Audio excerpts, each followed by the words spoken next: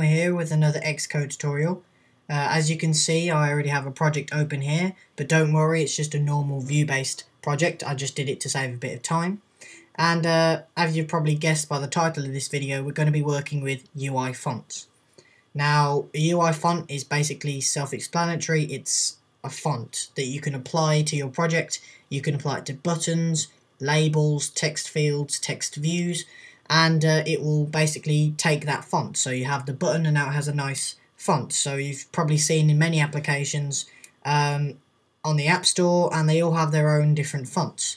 Um, now you're probably going to say to me, but hold on, Xcode does have fonts. So, you know, if I go into the font view controller.nib here and I just drag a label on, see like that, it already has its own font called Helvetica. If we go over here to the attributes.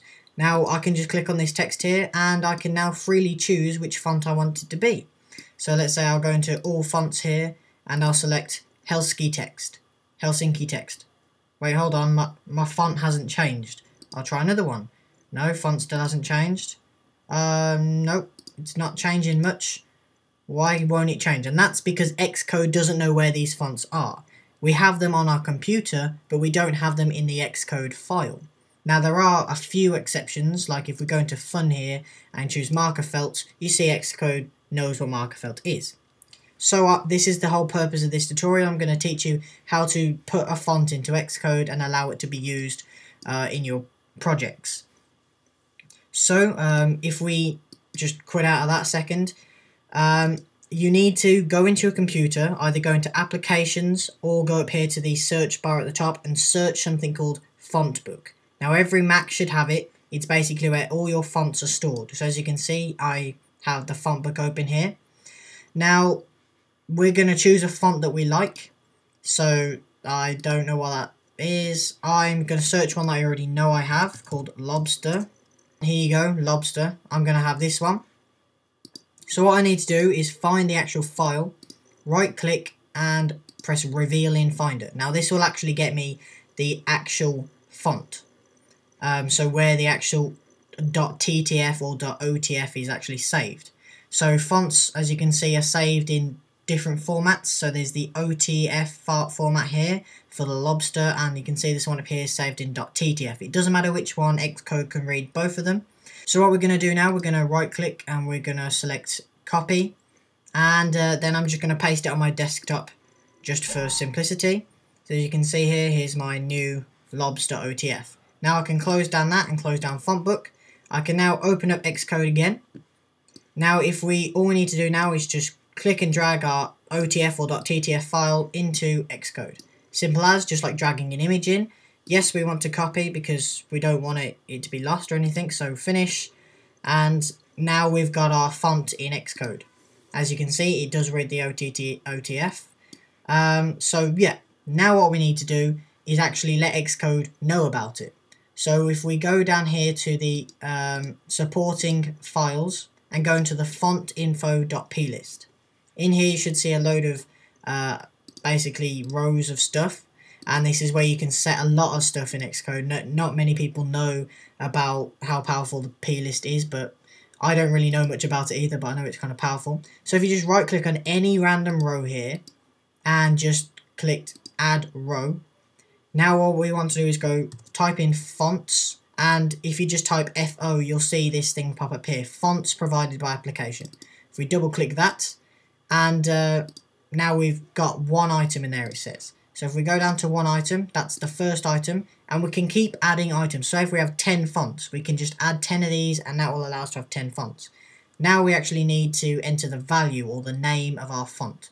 So we double click in here, and we're going to type in lobster 1.4.0 uh, not 0 OTF. So there you go, there's our lobster font in here. Now I type lobster because my file is called lobster. If your text file, I mean your font file is named something different, obviously name this exactly the same. Make sure you include the extension as well. So that's that done. Now we can go into our view controller.h and I'm just going to create three properties here and uh, I'll be back in a minute once I've created them. Alright guys, I'm back and as you can see I've just created three properties here and I've got an UI label, UI text field, and UI text view. Just to show you the range of the font, it can also go to buttons as well and all sorts that use text. So if we just go into the .m here, we need to synthesize these, so I'm going to quickly do that. At synthesize, and it was label, TF, and TV, I believe. And I'm also going to dealloc these as well and release them. So I'm going to go label, release, oops, one, release, there we go, TF, release, and TV, release. So that's that setup. Now we need to go into the view did load. Just down here, we're going to uncomment that. And in here, we're just going to set up the thing to actually produce our font. Now, because we're going to be using the font in three different attributes, we're going to create a local thing that we can call from, a local instance. So I'm going to type that out and uh, I'll be back in a bit. Alright guys, I'm back. And as you can see, I've added quite a lot of code here. But simply, all I've done is create an instance of our lobster font here by typing out UI font, star lobster font, giving it a name, and then space equals space, UI font, font with name, and then in at quotes, lobster dot um, lobster space 1.4. Now, as you can see, if we go over here, our lobster font is called lobster space 1.4. So make sure you type it exactly the same, just like when you're typing out images or something, make sure you type exactly the same. And then the size is obviously the size of your font. So it when you're when the person types with this, if you set this font to something like I have here, label.font, lobster font, the size will be 30, 30, whatever. I don't know what's the size of fonts are measured in, but yeah. So as you can see here, um, so basically to just change the font or something, you just type the name and then dot font. So label dot font equals the lobster font we made here.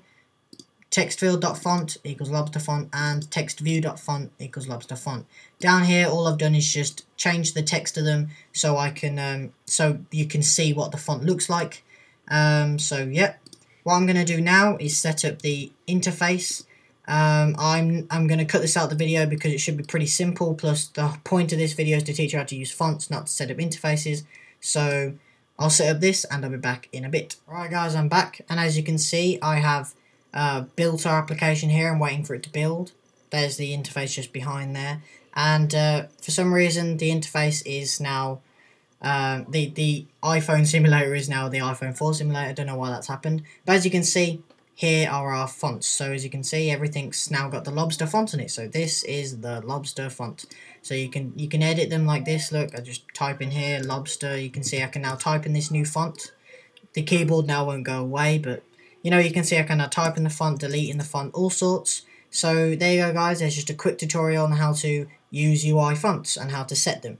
So hope that tutorial helped you guys uh, make your apps look look nicer rather than just the default fonts in Xcode. Um, so, yep, thanks for watching and see you in my next tutorial.